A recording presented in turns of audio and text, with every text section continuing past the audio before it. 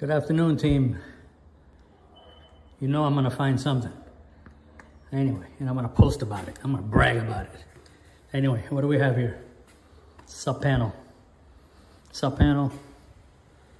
Neutrals on one side, neutrals on the other side.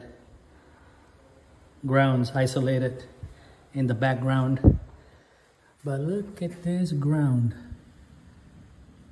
Right down there. Do you see it?